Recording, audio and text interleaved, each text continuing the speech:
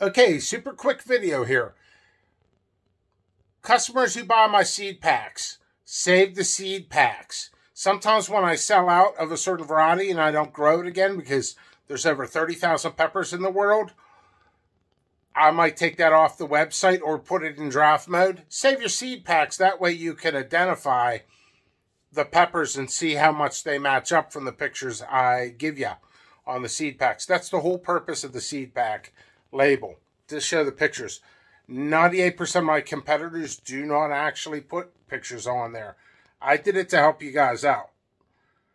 Also, if you guys mix up your grow, that's a great way to help identify as well. Always map out your grow.